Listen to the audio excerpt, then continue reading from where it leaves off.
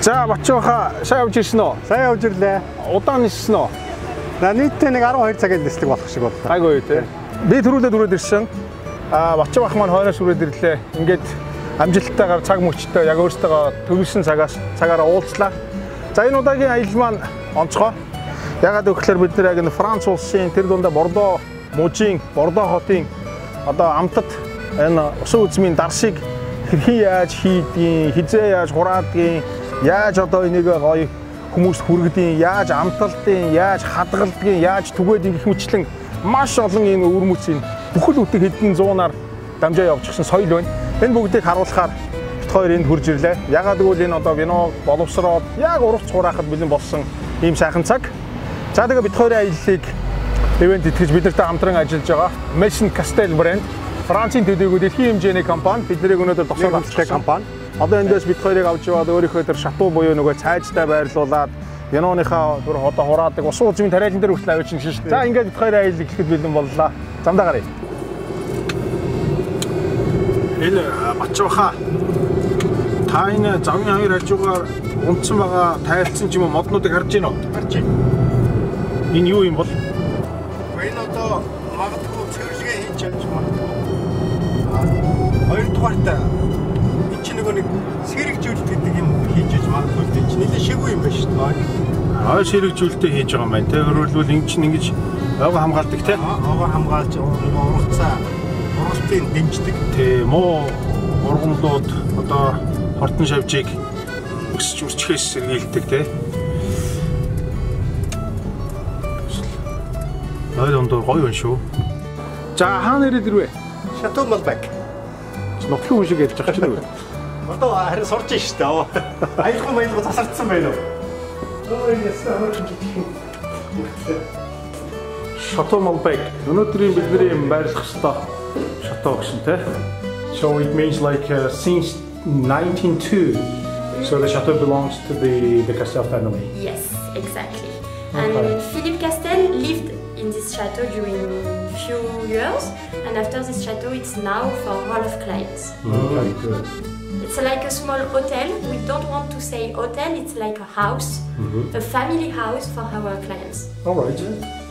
Сууц маягтай нэгдсэн шатуугийн хэлбэр гэж юм л да. Тэгээ энэ одоо энэ дээврийн энэ модон хийц. Энэ ганцхан хийц байхгүй?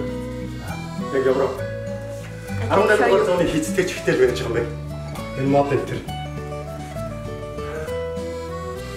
За энэ таны өрөө юм тий. Гоё яваач. Аа. Энэ хараа.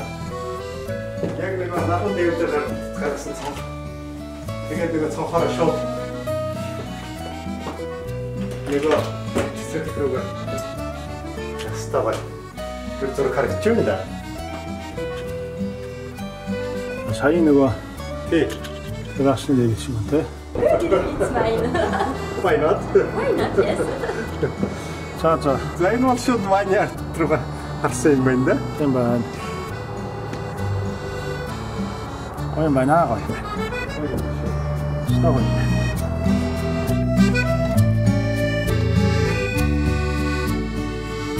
За Бордо хотын зүрхэнд Сампер дүүрэгт хүрээд ирсэн. Толин тусгалтай газар гээд одоо монголчлуул тийм нэртэй газар байна. Эндхийн нэг гоё онцлог зүйл нь юу гэхээр нэг жуулчдад зориулаад дээрээс нь хотынхаа гоё өнгө үзэмжтэй байх талааш нь хотын захиргааны юм толин тусгалт аа, газрыг бий болгосон юм байна л да. Орой их гоё харагддаг гинэ. Ягаад гэвэл орой энэ ч нэг толин тусгалыг усны энэ толин мандал чинь энэ хажуу талын барьж байгуулсан байшингууд рефлекшн хийгээд гоё болдго юм байна. За Бордо хот хотын хот гэвэл ингээд өөрийн жижигхэн юм хотын төв шиг гэсэн үг. Энэ бол 250 мянган хүнтэй. А хотын зүгээр метрополь гэдээ хэсгээрээ тооцох юм бол 1.2 сая хүнтэй метрополь. Францтай бол 6-д ордог том хот. Энэ хүмүүсийн хамгийн их үнцэнтэй үнэлдэг хүндэлдэг зүйл нь вино. Гэдээ ярихлаар энд нийтдээ 117 мянган га газарт нэг ойролцоогоор 8 мянган winery буюу энэ одоо усан үзмийн тариалан байж. Усан үзмийн тариалангийн талбай нь 2 мө 3хан га жижигнээс ахуулаад 100-аад га хүртэл хэмжээний ийм том талбайнууд. А гэхдээ маш их одоо үржил шимтэй эндээс гарсан вайн дэлхийн алдартай ийм вайн болдог учраас нэг га газрынх нь өнгө маш өндөр байдаг гинэ. Зарим газрынх нь э, чи юу гэсэн бэ? Нодлон э, нэг нөхөр эндээс хоёр га газрыг худалдаж авахдаа 200 сая еврогоор хүртэл авсан тохиолдол гарсан юм байна шүү дээ. Бордо мужийн одоо Бордо region гэсэн үг шүү дээ. Энэ Бордо мужийн зөвхөн Веноноос олох орлого нь гэхэл 14.5 тэрбум евро болдог гэж байгаа. Тэгэхээр ямар том эдийн засаг байна вэ гэсэн үг шүү дээ. Энэ хоёр гудамжаар чинь хүмүүс ингээд суугаал, виногоо уугаал, яриад, инээлтэл ер нь энэ э, францчууд чинь бордочууд чинь ажил хийдэм үг юм байл гэл гадаа суугаал хоолоо идэл виногоо уугаал гачин гачин гоё сайхан юмнуудаа яриад инээлдэж хөөрөд бүр ууралж уцаарлж байгаа бухимдж байгаа бүр нэг хэрхэгч хүн алга. Хүмүүс нь ч их найрсхий яасан ч гоё уриалгах юм. Мэдээж ингээд бид нар аялаар явж байгаа болохоор гоё сайхан хүмүүс, сайн хүмүүстэй уулзахыг хичээж нэвтрүүлэгдээ сайн зүйлийг оруулахыг хичээж байгаа хэдий ч гэсэн Үнэхээр одоо энэ бордоо гэдэг бол ингээд нарлаг шайхан гоё байгальтай, цаг агаар нь гоё, халуун дулаан, хүмүүс нь илгэмшиг, хоол намттай, вино намттай. Жин муулах юм болдохгүй шүү. За одоо ингээд талин тусгалт газраараа сайхан ингээд алхаж зугаалаа. Энд чинь ингээд ус мус гарч ирээд хөл амраад ай гоё юм ба ш. Жижиг утаа мутаа тэр юу гараад нөгөө уур гараа те. За одоо манай нөгөө нөхдүүд маань энд суугаад айгүй гоё вино уугаад одоо нөгөө шампанск уугаад ингээд сууд юм аа. Одоо ингээд сууцгаа их. Одоо тийшээ явцгаая да.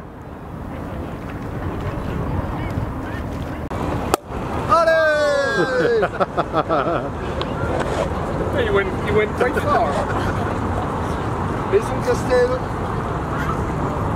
It's for the greetings from Maison Castel. Okay. Maison Castel is very tonight. Greetings.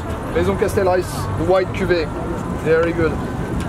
To finish the day in Bordeaux, this beautiful Indian summer. Merci. Pleasure.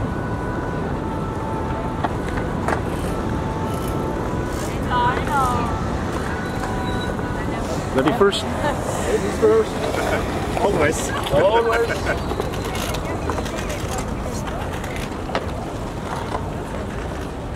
On a que 4 verres, Antonia Ouais, j'ai pris que 4. J'avais pas prévu forcément de boire, c'est juste pour la figuration. Doctor, Okay, talk.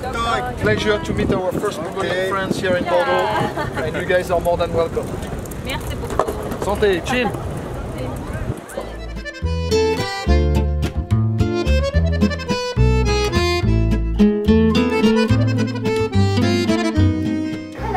Good morning. Bonjour. Castel. Thank How are you. Very good. Thank you very much. By the way, very nice Castel.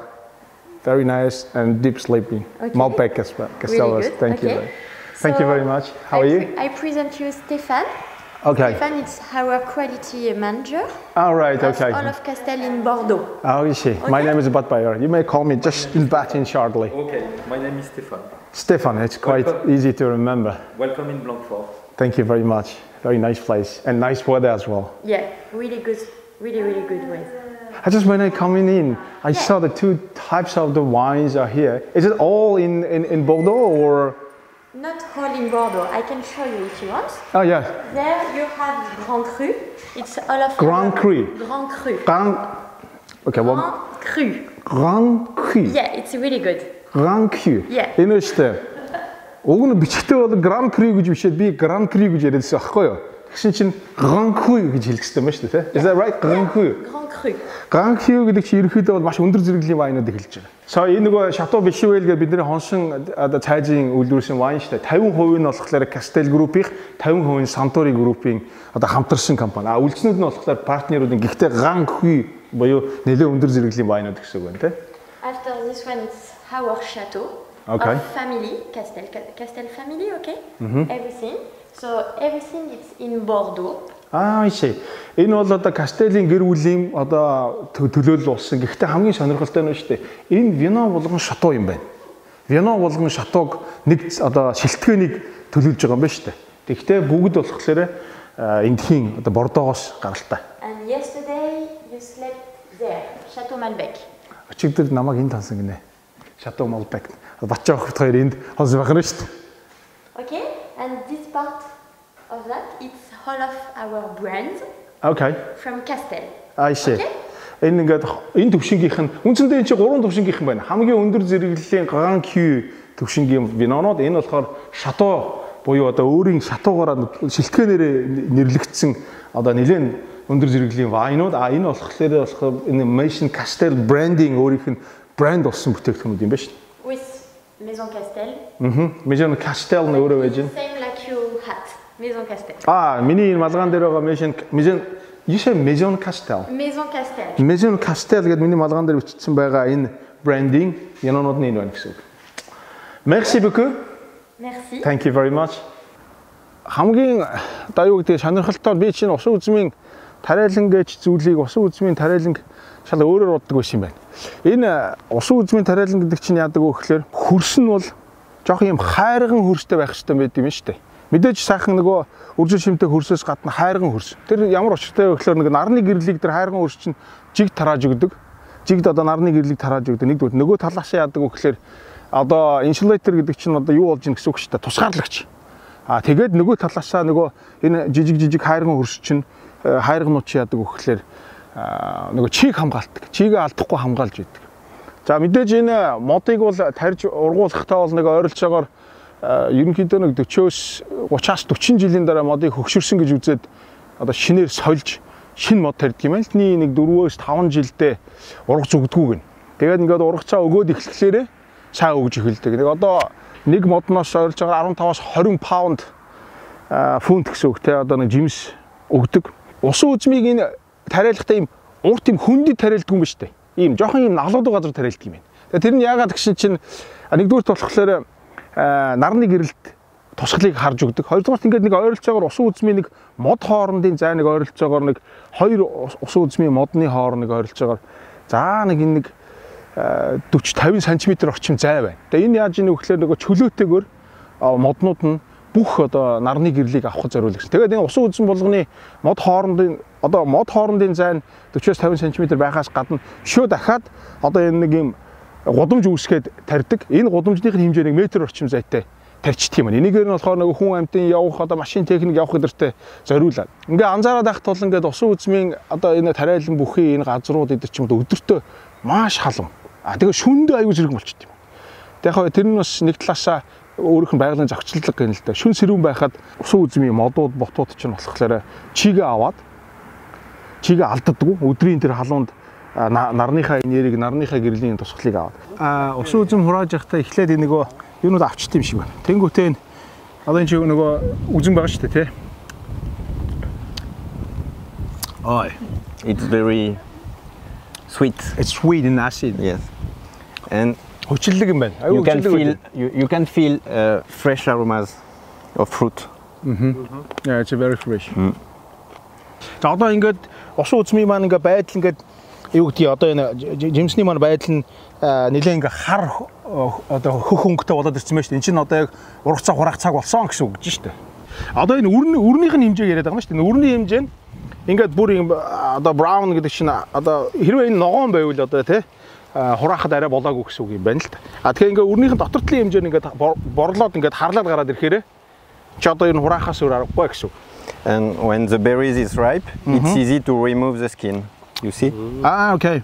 Really Bilo- easy. Ah. That means it's, it's ripe. Оо за за ингээд бэлэн бэлэн одоо яг хураах бэлэн болсон усан үзмийн одоо юу гэдэг чинь ингэдэм байж тань өөрхий ингээд маш амархан ингээд хальслахад ингээд ийм нэмхэн хальслагддаг болчдөг гинэ. Ингээд энэ одоо ишл харагдаж байна тий. Энэ харагдаж байна тий. Ийм хальслагдах хальслахад бэлэн болчдөг гэж. А энэ table table одоо усан үзэм гэж нэрлэдэг байгаа шүү дээ. Бидний нөгөө одоо хүнсэнд хэрэгэлдэг. Тэр усан үзэмнийх болохоор ямар байдаг вэ гэхээр энийг болохоор ингээд жимсэн одоо иймэрхүү бай хэлбэртэй те. Жимсэн дотроо баг шиг одоо ийм жуус бүдвэ нөгөө амтлаг хэсэг тэгээд ястагаа ингээ байж байгаа шүү дээ. Үртэйг гэсэн үг те. А нөгөөх хэрэглээний усан үзэм болохоор том байд юм байна л да. Тэгээд энэ дотор нь өөрөө идэхэд зориулагдсан нөгөө жууслэг хэсэг нь илүү идэхэд зориулагдсан байд юм. Small berries are more concentrate than big berries. The өөрөөр хэлбэл энэ нөгөө жижигхэн одоо үзэн болохоор нөгөө томьёо бол илүү их нөгөө concentration буюу одоо агуулмж өндөртэй байдаг хана шүү. Окей. Voilà. Voilà. Voilà. А бас их нари нари юм байдаг байхад те. So I can eat this. Yes, of course. How many grapes if I eat is a glass of wine? As, as Um, equal to the glass of wine. For one bottle, it's one kilo. Оо за за. Нэг шил виног ерөөсө ганцхан килограмм усан нөгөө үзмээр хийдэг юм байна шин. Гоё вайн буюу одоо яг энэ шатуу буюу энэ одоо шилтгэний иргэн тойрон тарьсан винонуудын хамгийн гоё з- одоо онцлог зүйл нь юу вэ гэхээр мэдээж хөрс гоё хөрсөнд сайн үржин шимтэй хөрсөнд ургасан вино. Хоёрдугаарх нь үзэм те. Хоёрдугаар нь тэрнээс гарч иж байгаа вино гэсэн. Хоёрдугаарх нь нар сайхан нартай байх, энэ цаг агаар байгаль гэсэн үг те. Гуравдугаарх нь хамгийн чухал юм эдгээр айгүй олон удаа хэлээд байгаа юм. Манай бочоо ах гэсэн өглөө нэмээд энэ яриаг нэмэх ёстой шиг гэдээсэн. Тэр хамгийн чухал зүйл нь юу вэ гэхээр юу л бочоо хаа? Хүмүүсийн сэтгэл. Хүмүүсийн сэтгэл буюу энд ингээд энэ виног тарж ургуулж одоо би усан үзмийг тарж ургуулж бий болгоод вино болгож яг the purchasing-ийг хийгээд хэрэглэгчийн одоо ширээн дээр ингээд хундаглаа тавьж байгаа тэр бүх хүмүүсийн сэтгэл нийлээд сайн вино болдог гиндэ. Ялангуяа шатуу вайн дээр. Merci Cédric. De rien. Би юм хитгэн хүүхдээ. Тэгээ урдаас нь ярихаар ойлгоо байж тээ. Гол гол иш байгаа чинь гол ишийн үлдээгээд одоо усан үзмийнхаа яг энэ хэсэг байна. Одоо энэ усан үзмийнхаа яг одоо байж болох энэ хэсэг гэсэн үг шүү дээ. Энэ эсгээр ингээд авчт юм байна. Is that right? Yes. Одоо яг усан үзмээ ингэж аваад Can I cut over here or Um, no? yeah, yeah. Over here. Okay. Yeah. За яг энэ хэсэгтээ ингээд ингээд авдаг гин. Зааг байна тийм ээ. Тий, зааг байна. Гэхдээ энд нэг юм учиртай. Усан үзмийн одоо энэ хураалт ба шүү дээ. Усан үзмийн хураалтыг бол мэдээж эртээр үеэсээ хүн хөдөлмөрөөрөө гараараа хураадаг байсан. Гэхдээ ингээд олон хүн одоо том талбай дээр жишээлбэл хураа гэвэл олон хүн хүч хөдөлмөр хэрэгтэй байхгүй юу? Аа тэгээ сүүлийн үед яадаг гэсэн мэхээр машинаар хураадаг болсон. Яг хөө эхэндээ машинаар хураахаар нэг сул тал нь хурааж байгаа энэ усан үзмийнхаа чанарыг жоохон эвдчихдэг, одоо бяцалчдаг гэсэн үг шүү дээ. Тийм байсан бол сүүлийн үед бол ямар ч асуудалгүй болсон юм. А мэдээж дээрэс нь бас хүмүүсийн ажиллах хүчний хөдөлмөрийн одоо үн хөртөг нь өснөөсөө болоод сүүлийн үеийнхаа гараар хураах процесс нь багасаад голдуу машинаар хураадаг болсон. Тэгтэл ямар ч байсан жижигхэн талбайтай өөрийн жижигхэн газруудтай пиано тарьдаг хүмүүс бүгдээрээ гараараа хураадаг. Энэ өөрөө амьдралын гоё хэлбэрүүдийн баяр баясгалангуудын нэг. Дээрээс нь хамгийн гол нь энэ чинь өөрсдийнх нь соёл واخгүй. Тэгэхээр энэ соёлоо бид нар хадгалж энэ бид нар болсон ярьж байна те. Энэ соёлоо Францууд маань хадгалж үтхийн тулд гараар хураах хэлэг дуртай байдаг. Тэр тохиолдолд бүр ингээд гэр бүлийнхнийхээ хүмүүсийг дуудаж авчираад, ах дүүнээрээ дуудаж авчираад за бүгдээрээ сайхан ус үзм хураа гэж тэгж хураадаг. Тэгээ хураахтаа ч гэсэн их богино хугацаанд хураадаг юм шүү дээ. За давай. Тэгээд ингээд хоёлаа өнөө өрөөнийхөө хоолыг олж идэхийн тулд нэг ус үзм хурааж ин да. Баг яг давгүй юу? Тажгүй, тажгүй. Чи дугаартай сайхан ажиллав шүү дээ. Зугаатай ажил байна уу? Тийм. зугаацчих юм байна л да хоёлаа те тэгвэл энэ чинь гэхдээ яг ингээ халуун наранд өдөржингөө ингээ суугаад хураана гэвэл бас ч бас нэг тийм одоо юутай ажил бас биш биш байх шүү. Ингээд ингээд аваад явах хэрэгтэй юм шиг байна. Аа энэ чинь бүгдийг сайхан ингээ авах хэрэгтэй байна шүү дээ ингээд. A few moments later. Ам цангаж энэ вино оохоо. Өдөр болж энэ вино оохоо. Өглөө цайн дээр вино оохоо. Зүгээр ажил хийгээд дуусаад бид амар хөлөрлөө гингүүд яах вэ? Вино оохоо. За ажил хийвэл амд осноо. It's very very nice experience. Yeah. It's the first time I'm uh, Okay. harvesting the grape in my Yeah. life. Yeah. Well, I've seen that many and uh, the people is doing that but I never tried by myself. Таны хувьд ч гэсэн адилхан нөө те? Анх удаа. Анх удаага шууд яаж байна те? With that, you can make maybe one bottle, one bottle and a half, maybe two bottle of wine. Enough for us. yeah, one for each. Okay. Ямар ч хоёр шил вино үйлдвэрлэлт хураагаад авцсан юм шиг. Гэтэ энэ бол бас төвхтэй а, олон хүний хөдөлмөр шингэсэн зүгээр ингээл нэг хоёлаа нэг 10 минутанд хураагаад авчдаг шиг биш юм шиг байна те. Чинөө дараагийн дараагийн үйл ажиллагаууд байгаа үстэй. За одоо явж виногоо идэ та. За вино хийх процессын тухай энэ үйлдвэртэй танилцах явцдаа бас нэлээд сони мэдж байна. Сая бид нар энэ Марлинаас асуухад бол түрүү нэг ялгаа хэлсэн шүү дээ. Нэг шатуу гэж ямар учиртай вайн байдаг вэ гэхлээр. Шатуу вайн гэдэг бол өөрийн одоо онцлогтой. Мэдээж тэр шатуу вайн чинь бол аа өөрийнхөө газар нутаг дээр өөрөөсөө тарьж ургуулсан, өөрөөсөө арчлаад өөрөө тарьж ургуулсан виногоо өөрсдийнхөө рецепи буюу одоо жороор виногоо эсгэж найруулж ирдэг бол Кастел буюу энэ үйлдвэрлэлийн хэмжээнд яаж оруулдаг вэ гэдэг нь бас арай жоохон өөр юм байна. Кастел групп компани бол яадаг вэ гэхээр энэ одоо Бордо орчмынхаа нэг 100 гаруй одоо партнерууд буюу энэ Wine Yard а, вино тариалдаг хүмүүстэй ингээд хамтарсан байдлаар хамгийн анх нэг виногоо яг хөрсөнд ургуулах процессээс нь ахуулаад вино нь өсөж тольж их одоо тэгээ явцын дунд хураах тэр явцын үед нь болохоор нэг хяналт шалгалт одоо тусламж дэмжлэг бүх юм хийгээд дуусгаад нөгөөдөл чинь виногоо хурааж аваад өөрийнхөө одоо баррел гэдэг чинь одоо торхонд тодорхой хугацаанд зарим нь хагас жил, зарим нь 8 сар, 9 сар, зарим нь жил ингээд дараад хадгалдаг юм байна л да. Тэгээд ингээд вино нь яг болоод бүрэн боловсроод бэлэн болоод ирэнгүүт нь эдгээр чинь өөрсдийнхөө нэг юм лабораторийн шинжилгээгээр оруулаад за яг манай ийм төрлийн ийм виног одоо бид нар үйлдвэрлэж цаг нь боллоо гэдэг нөгөө хүмүүсээсээ энэ чинь бүр ерөөсөө гээд маш нарийн төлөвлөгөөтэй байдаг юм байна. Тэнгүүтээ нөгөө виногоо татаж авчираад одоо тээврийн тусгай зориултын тээврийн машинуудаар татаж авчираад маш цэвэрхэн гэсэн үг. Тэгээд эргүүлээд энэ том том танкууд зарим танкууд нь болохоор 16 гектар литр, зарим нь бүр 3000 гектар литр. Одоо том савуудад хадгалаад блендинг хийд. Блендинг буюу одоо холдог гэсэн. Энд чинь одоо блендинг хийх маш олон төрлийн сортуудыг холно штэ. За ингээд өөрийнхөө нэрийн бүтээгдэхүүнүүд болох энэ Mation Castel гэдэг бүтээгдэхүүнүүд үйлдвэрлэж эхэлдэг юм байна. За энэ хүртэлх энэ олон шат дамжлагыг явуулахынхаа явуулахынхаа үед бол бүр эхнээс нь ахуулаад төгсгөлд нь савлгаа болгоод ингэж бэлдээд ингээд жилдээд 110 сая шил а эргэн тойрныхоо бусад одоо нөгөө юм яг тараадаг үйлдвэрүүдээс арай жоохон ялгаатай нөгөө хэдийнхээ бас Mason Castle Group-ийн гэсэн үг шүү дээ. Үйлдвэрүүдээс дахиад 30 сая литрийг шилийг буюу нийтдээ ингээд 140 сая шил виног 120 оронд эндээсээ шууд ингээд түгээн түгээн тараадаг гэсэн үг байна шүү. It's a nice one, huh? Very good wine, very complex, fine wine, as we say in Bordeaux. Mm-hmm. It's uh, wine is something that comes from the beginning of uh, humanity. Already, yeah. The archaeologists they found the oldest pip 6,000 years BC in Georgia. And oh, yeah, I heard about the first wine was born in Georgia. In Georgia, Caucasia, yeah. Absolutely, that's Yeah. the cradle of the wine civilization. Okay. And then after it went down thanks to the Phoenician merchants, to Egypt, then to Greece, to Italy, And then Italians, France. and then France. and it's thanks to the Romans that we have planted so many vineyards in France. Oh, I see. Coming from the south part first, Languedoc, Okay. also where uh, Castel uh, is the closest from the, the, the viticulture, from the winemakers, and then it spread out all the way up north, and Bordeaux was born. Okay, so when we start the professional tasting, we start um, like looking on the color of the wine. So the color to know if the wine is young, old, and so this one is um, quite young wine. It's really red, um, and when it gets older, it will get more brick. But this one is really red, clear red. So nice color. It's young wine. Then we smell for, for one time, just uh, sniff to check if there's no, not a problem with the wine. So it's great, there's no problem and it's not corked. Um, then uh, we swirl it around to um, get all the different aromas of the wine and to get more oxygen in the wine. So now I can smell all the different aromas in the wine. So it's really nice. So this wine, there are really let, um, aromas of red food, um, perhaps a bit of chocolate even, dark berries, um, strawberry, black fruits also.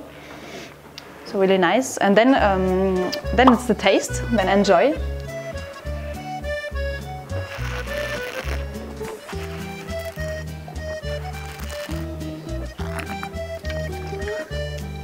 And so I spit um, because this is a professional tasting, and otherwise there will be um, there are too many wines after it. So um, it's better to spit in a professional tasting.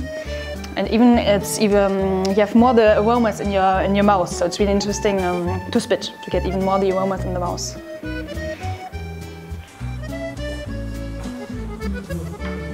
Wow. This is the wine cellar.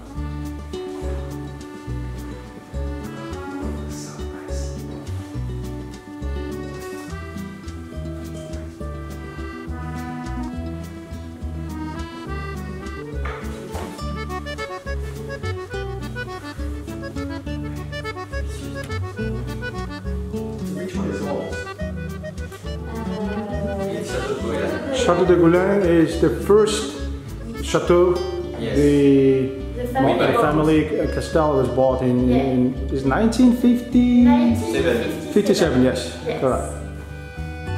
Онгон ороо байна да. 2004, 2005, 2006, 2007, 2004, 5, 6 гэдэг. Дээшээ бол бүр дээшээ 30 юм байна. So we have a lot of kind of wines in this place, five kinds of chateau and 20 kinds of brand Maison Castel that we are sending to Mongolia. For example, with this one, Chateau d'Arsens, will be sent to Mongolia. I hope you will enjoy it.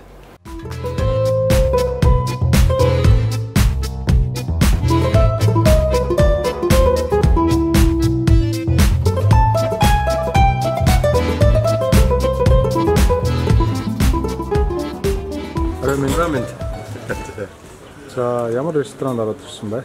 За энэ Saint Julian. Сан Жулиан гэдэг. Ли Saint Julian. За нутгийн хоньны авирга. Амталж үзье.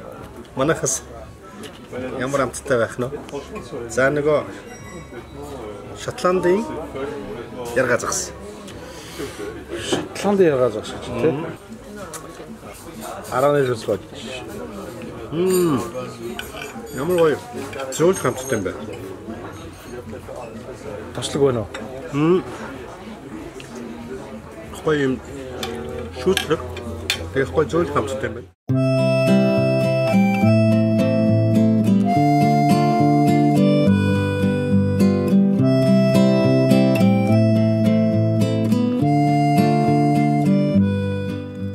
Ямар гоё юм бэ? Архитектурыг харуул нэг 17 18 дугаар зууны л тийм л хэв маяг юм шиг байна. Энэ царс мод. За магадгүй энэ одоо хэдэн зуун жилч болж байгаа. Аа гайхамшигт. Hello. Welcome, Chateau Béchavel. Thank you. Бишэвэл.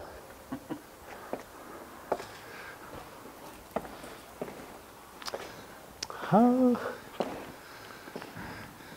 За энэ ч та гайхамшигтай гоблин байна да. Юу байна гинэ? Гоблин.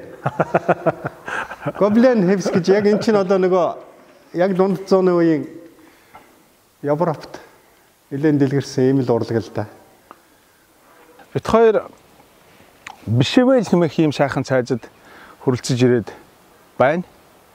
За бид нартай хамтарч ажиллаж байгаа нь Castel Group энэ бишэвэл цайзыг эзэмшдэг юм байна. Анхын цайзыг үүсгэн байгуулсан хүн Duke of Pignon буюу та усан цэргийн адмирал цолтой Францын одоо Хенри 3 дугаар хааны ордонд их чухал албатай ийм хүн байсан байна. 1660 оны сүүлээр энэ цайз одоо шилтгэнийг барьж байгуулсан гинэ. За шилтгэн барьж байгуулахдаа мэдээж бол тухайн үед энийгээр ингээд урд байгаа одоо аа, нуур ар гэдэг юм ингээд сейлинг хийгээд ингээд аруулт цавтайг хөөж явж байхад энэ шилтгэн ингээд яг ингээд дэлгэмэл юм шиг гоё харагдахаар. За мэдээж аа, Версалийн одоо Францын хааны Версалийн ордон гэж байдаг. Версалийн ордны жижигрүүлсэн хувилбараар хийж байгуулсан ийм цайз юм байна.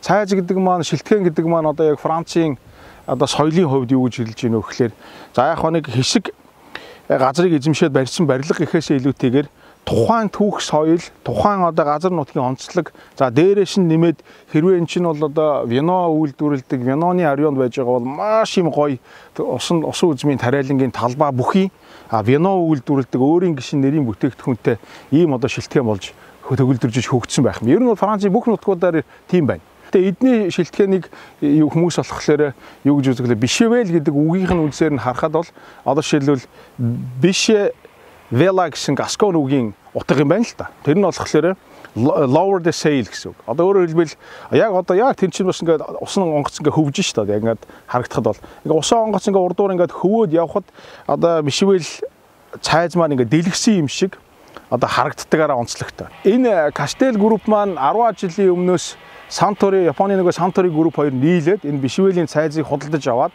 энэ цайзаа болохоор сайхан гой тогтчуулж улам илүү сайхан янзлаад за мэдээж энэ орон нутгийн аялал жуулчлалын хөгжилд бас тодорхой хувь нэмэр оруулаад эндээс гаднаас ирж байгаа жуулчид аялагч нар за винотой холбоотой хүмүүс ойролцоогоор жилдээ 15-аас 20 мянган одоо хүн зөвхөн энэ юугаар зочилж ордог гэн. Мөр зочилж орохоос гадна аялдаг, энд хоногддог, байрладаг. Мэдээж энэ виноных нь одоо амтлагаатай вино яаж хэрхэн үйлдвэрлэдэг вэ гэдэгтээ танилцдаг.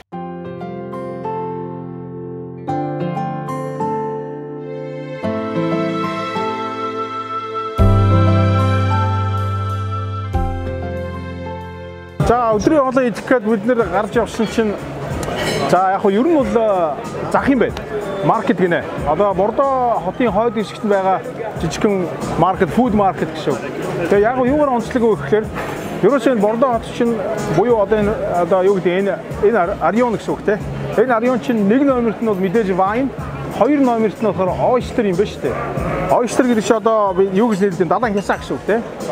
Нийтдээ жилдээ 18 мянган тонн ойстер одоо импорт экспортлдог гэж байна. Тэгээ бид энэ захтар өдрийн хоолндоо бид нар ойстер идэх гэж хурж ирсэн. За явъя. Тэгтээ ба штэ. Яг ганц энэ ойстерч бас биш. А үндсэн санаа бол юу гэхээр бяцлаг ер нь бол Франц хоолыг хоёр зүйлтэй зүйлээс салгаж ойлгож болохгүй. Нэгдүгээрх нь бол тэгэхээр бяцлаг, хоёрдугаарх нь бол талах. Маш их хурлын бүтээгдэхүүн. Тэгэхээр талах нь бол зүгээр яг хоо грошант одоо кейкүүд эсвэл одоо бордоо бол канале гэдэг өөрийнхөө алдартай юм кейктэй. А дээрээс нь багити гэдэг нэг юм урт талахгүй шүү дээ. Тэр өдөр тутмын хэрэглээндээ талах хэрэглээ. Хурлын бүтээгдэхүүн хэрэглэнэ гэсэн. А нөгөө нэг зүйл нь юу гэхээр винотой хамгийн гоё төгс зогсдог зүйл бол бяцлаг хаам хоёр. Тэгэхээр эдгээр зүйлүүдээс нь бол чалгаж одоо виног ойлгож болохгүй гэсэн. А гэтэл бордогийн үед бол ойстер буюу хясаа бол бас дахиад голлох байр суурь эзэлдэг гинэ. За явъя. Энэ ба штэ. Хэрвээ чи нэг амар өлсөөгүй байгаа үед бол t-shirt маягаар жижигхэн ийм одоо амттай давсалсан эсвэл халуун ногоотой ингээд давсалсан ийм бяцлагуудыг бяцлаг болон хаа одоо хямнуудыг одоо хямууд гэсэн үг те салами гэдэг гэсэн үг хатаасан одоо хямнуудыг олоод ингэсэн энийг ингээд хөнгөө ингээд манахаар бол үл дарах хэмжээнд байж болдог. Энийг одоо түргэн хоол гэж нэрлэдэг ашиг байна. Би та нарыг ойстер үзүүлээ.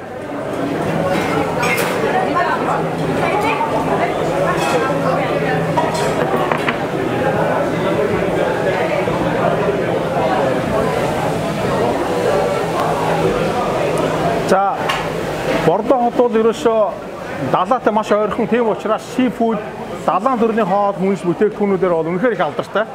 Аа тэгээд тэрэн дундаа бол ойстер. Тэгэхээр одоо энд бол жишээлбэл дөнгөж өнөө өглөө авчирсан далаагаас барьж авчирсан дөрвөн төрлийн ойстер зарж ийн гэж байгаа. Маш хурдан дуустдаг гинэ. Ерөнхийдөө ингээд одоо эн чинь нэг цаг болж штэ. Хоёр өнгөрөөгөө бүх ойструуд нь загдаад дуусчдаг гинэ. Өдөртөө бүр хэдэн 10 кг-аар авчираад зараад энэ хавийн хүмүүс бүгдээрээ ерөөсөө яг шинэ өглөө барьсан яг шинэ одоо fresh oyster-ыг иддэг юм даа. А мөн ганц oyster биш те. Одоо shrimp байна, далайн өөр бусад төрлийн амттай загшуу sea bass, а жижиг нөгөө baby shrimp-ууд, crown shrimp-ууд гэдэргээд бүгдээрээ байдаг юм даа. Одоо ба штэ хэдүүлээ. А oyster амсч үзье. Яа, ястас. Аимшигтай гоё амттай байна шүү. Одоо ингээд дөрвөн төрлийн shrimp байна. 10 кг-аар савлагчсан нэг юм хайрцаг шримп нь болохоор 160 евро. А энэ болохоор хоёр дахь нь болохоор 120 евро. Дараачих нь 96 евро. Дараачих нь 96 евро гэх дөрвөн төрлийн ширхэг. Миний 160 евро буюу хамгийн сайн чанарын ойстер эхний хоёр сортын ойстер нь бүр үжээ зарагдаад дуусчих. Одоо зөвхөн 3 4 дөрөв төрлийнхэнд үлдсэн байна гэсэн. Тэр нь гитаа 96 евро. Франц бол цаанаасаа гоё л доо одоо ойштертай хоол идж байгаа тохиолдолд заавал хамгийн их одоо таардаг нь яадаг гэхээр минералчсан мөн жоохон тийм хүчлэлэг маягийн одоо юу байх хэрэгтэй байна аа цагаан минь уух хэрэгтэй байна. Тэгвэл их гой тохирдог нэ. Тэгээ ашид гэдэг шүү дээ. Ашид гэдэг чи одоо хүчлэг гэсэн үг үү те. Тийм тийм чихлээ. Магадгүй буруу орчуулж магадгүй шүү. Ашид тэгээд минераллык тийм цагаан минь уух хэрэгтэй гэж. Тэр нь бол одоо энэ excuse me. Yes. Тэр нь болохоор энэ Sauvignon Blanc буюу Mission Castelli appellation appellation Appellation Bordeaux. appellation Bordeaux Contrôlé. contrôlé.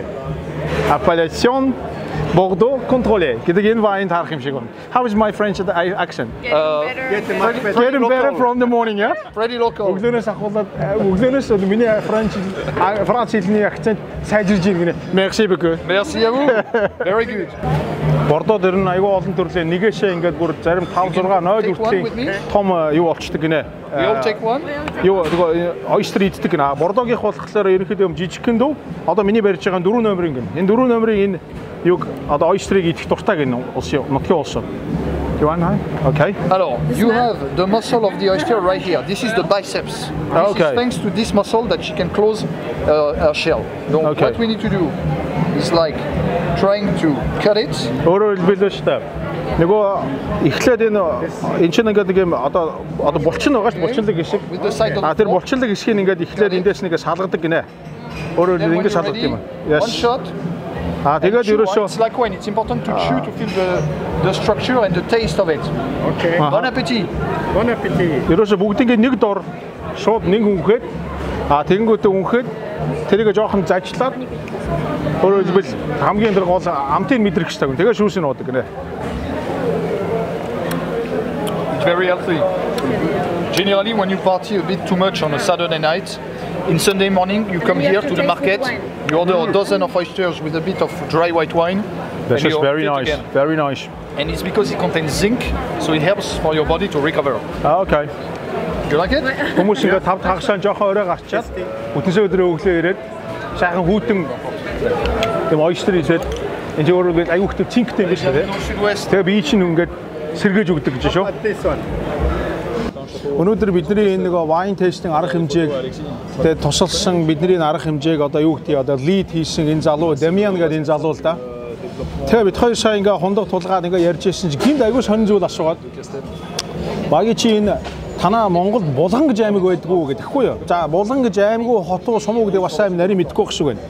Тэгээд өвэд ихтэй чи яаж мэдтiin бэ гэсэн чинь их сонин түүхтэй залуу юм байна штэ. Майнер юу гэхлээр өөрийнх нь имэн жоохон охин байхдаа одоо жоохон хүүхэд байхдаа Монголоос Булган гэдэг аймгаас юм уу Булган гэдэг сумаас гаралтай юм байна. Тэгээд дамжиж явсаар хагаад Парист ирээд амьдраад тэгээд яг нас барахтаа манайд юу гэж агсан бэ гэхлээр Булган Улаанбаатар гэдэг Улаанбаатараас баруун зүгт Булган гэж э, хот байгаа. Тэндээс би гаралтай. Тэнд би намайг ингээд баг байхад намайг асардаг байсан хүмүүс би хар үстэй, ийм жоохон өнөгрдөө нүдтэй, намхан нуруутай. Тэгээ би бол Монгол гаралтай хүн гэ. Тэгээ манайд өнөөдөр бид нарыг ирж байгаа сургийг сонсчоод Монгол гаралтай хүмүүстэй уулзж байгаа маань монголчуудтай уулзж байгаа юм бөөн баяр болоод. Тэгээ яг хоо сая нэг виноны дараа нөхөр ярьж байгаа байхгүй. Би ер нь өөрийнхөө гарал үүслийг өөрийнхөө хүмүүсийг бас хайж олох сонирхолтой байгаа. Тэгээд туслаач гэ. Damian? I was just uh, talking about your story in Mongolian. Okay. But in case you can you just explain me Yeah. uh, Again, the- what- what's your region and why why do you get, pick up this information? So for, for, this is something quite personal, okay, that I'm going to tell you right now. Um, my grandmother, uh, she died last year, she passed away, and we discovered in her personal effects the family book with all the names of uh, the daughters, sons, etc., everyone involved in the family. And we knew that she was we were thinking that she was originally from the Eastern Europe. Mm-hmm. Because her family name was Young, Y-U-N-G, Aha. Uh-huh. but what was written on the family book was to remember where my ancestors are from because she lost her parents when she was like nine years old something like that. They uh-huh. forced her to write down her origin. To remember where my parents and my origins are from Bulgan nearby Ulaanbaatar and when she passed away and then we got unfortunately all her personal uh, effects. We found the family book and we found this writing. And then that's the time that we realized that she was probably not originally from eastern europe but much further east in mongolia.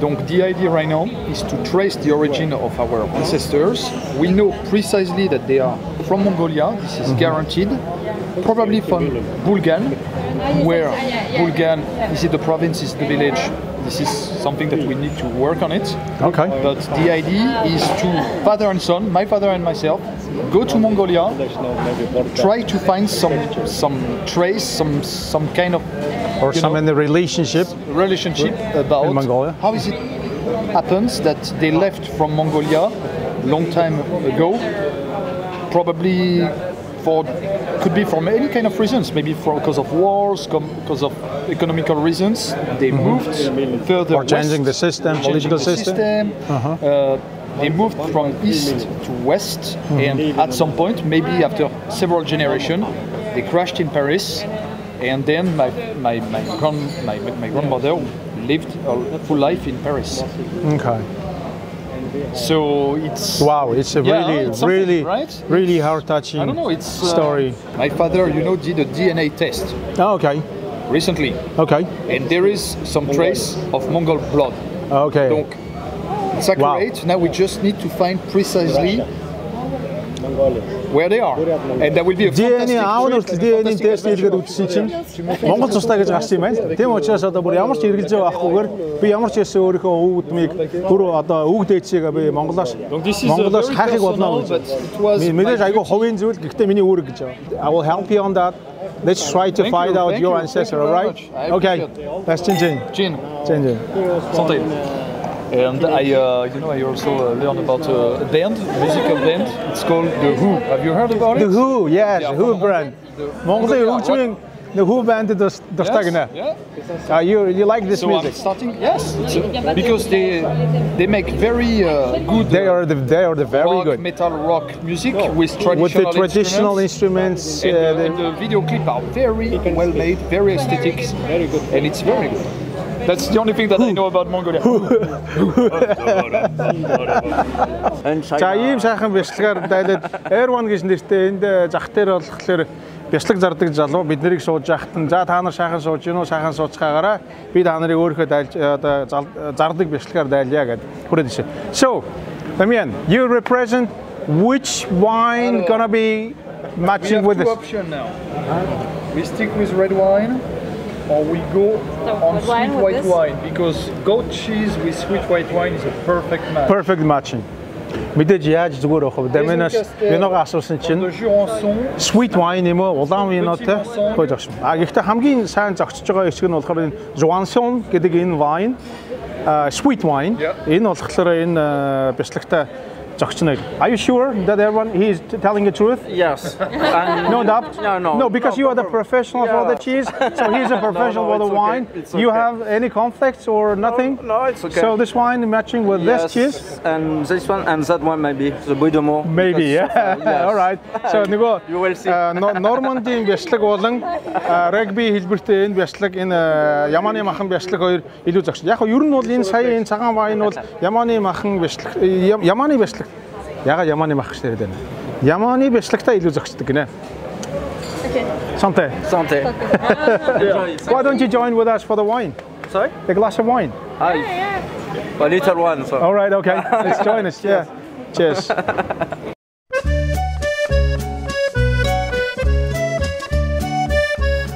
Гэтэ ер нь бол вино гэдэг чинь бодож яйсэн, төсөөлж яйсэн зүйлээс шал өөрөгдөг шиг юм байна.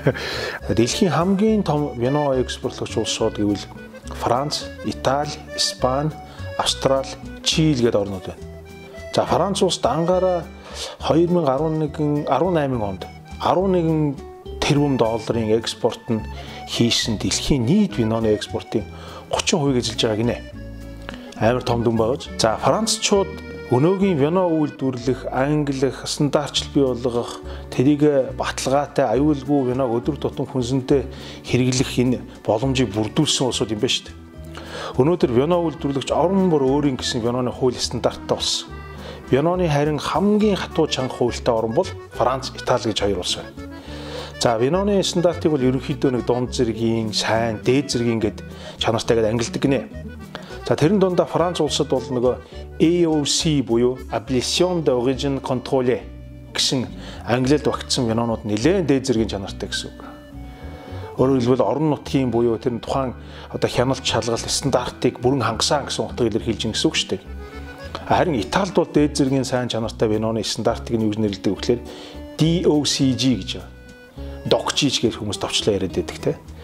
За виног дотор нь бол та бүхэн сайн мэдж байгаа. За улаан вайн буюу red wine, цагаан вайн буюу white wine, rosy wine, sparkling wine гэдэг ангилдаг.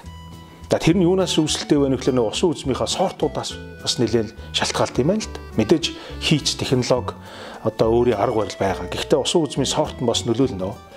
Тухайлбал цагаан виног бол ердөө цагаан усан үзмээр, улаан виног бол улаан усан үзмээр хийдэг гэдэг ойл энгийнээр ойлгочиход болно гэсэн үг.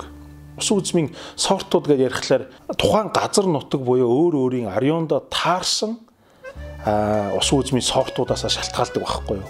За тэрний гол төлөөлөл нь бол мэдээ нөгөө бид нар аюул сайн мэддэг Cabernet Sauvignon байна, Chardonnay байж гин, Pinot Noir байж гин, Syrah байж гин те.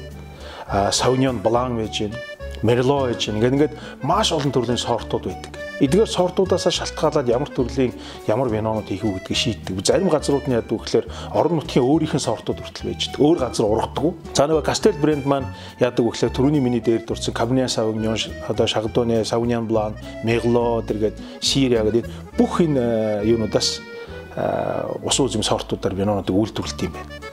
За вино хийх одоо юу гэдгийг арга техник энэ бүх юмыг ингээд товчхон ингээд хитгэн одоо үгэнд энэ маш олон урт хугацааны процесс одоо хийдэг арга техник маш олон технологиор амтлагааны аюул олон шат амжилтууд байгаа л да. Энийг зүгээр товчлоод хэрхэн яаж вино хийдэг вэ гэж ярихад за хамгийн нэгдүгээр нь ургацаа хураана. Сайн чанарын тариалан талбаанда яг усан үзмээ хураагаад ав. За усан үзмээ хурааж авчаад тэгээ сортлоод англиад яг шаардлага хангах усан үзмүүдээ сортлоод авчихна. Тэрнийхээ дараа бол яадаг вэ гэхээр та нар анзаарсан бол тэр нэг Челентаныгийн кино минундаа ингээд нэг хөлөөрөө өдр ингээд шахаад тэгээ дээрээс нь ингээд нэг юм модон ийм шахуургаар өдр гараараа ингээд маш зөөлхий ингээд шахдаг. Өөрөөр хэлбэл усан үзмийнхаа яг үндсэн жимсий жимсний шүүсийн шахаж авдаг процесс дараа нь өрнөж. А энийг ингээд шахаад аваад дараа нь юу үлддэг вэ гэхээр нэг усан үзмийн чинь нэг хальс үлдэж шүү дээ тийм. Хальс чинь маш чухал зүйл. Энэ өөрөө нэг улаан миноны төрөний алдартай таанин буюу бодогч утсыг бүрдүүлдэг байхгүй. Тийм учраас тэр бодогч утсыг авахд яасан бэ гэхээр саяын тэр гараараа шахаад үлдсэн одоо усан үзмийн хальс одоо гол хэсгийг нь яадаг гэхээр тусгай машинаар бүр ингээд прессинг хийж шахаж аваад бодогч утсыг гаргаад авчдаг байна шүү. За тэгээд тэрний дараа яадаг гэхээр нөгөө бодогч утс жүүс хоёроо нийлүүлээд хооронд блендинг гэж процесс хийж байгаа. Дээрээс нь блендинг дээр өөр төрлийн жимснүүдийг бас хольж нэмж хийж болно гэсэн үг. Нэг төрлийн жимсээр биш, олон төрлийн жимсээр вино хийж болно шүү дээ. За, эннийхээ дараа бид нэр эсгэх процессыг хийнэ. Эсгээд бэлэн болсон вино тэр чинь тодорхой хугацааны дараа эсгэж бий болно шүү дээ.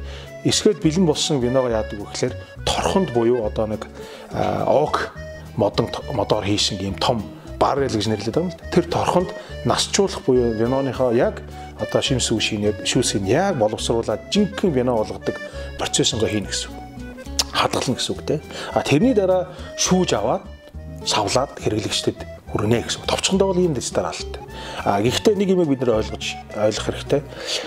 Их өндөр насалсан урт настай вайн болгон сайн гэсэн үг огт биш. Залуу вайн болгон муу гэсэн үг бас биш вино болгон өөр өөрийн настай, өөр өөрийн уух цаг хугацаатай, өөр өөрийн хэрэглэх үеуд байдаг. Тийм учраас яг сайн вино гэдэг бол тухайн орчин одоо хамт байгаа найз нөхдийнхөө хүрээлэл ямар баяр тэмдэглэж байгаа ямар сэтгэл санаатай байгаа ямар одоо баяр хөөр зориулж энэ виног задлах гэж байгаа онгойлгох гэж байгаа гэдгээ яг тааруулаад таарсан виног уух нь хамгийн том одоо таашаал мэдрэмжийг төгөлдөг гэнтэй. За ингээд бидний аялыг ивент итгэсэн одоо энэ зам Иранны тэр сайхан мэдээ мэдээллийг аялагчд манд хүргэхэд тусалсан Апо компани болон Mission Castel тэр нунда Castel группийн хамт олонд талархснаа илэрхийлье.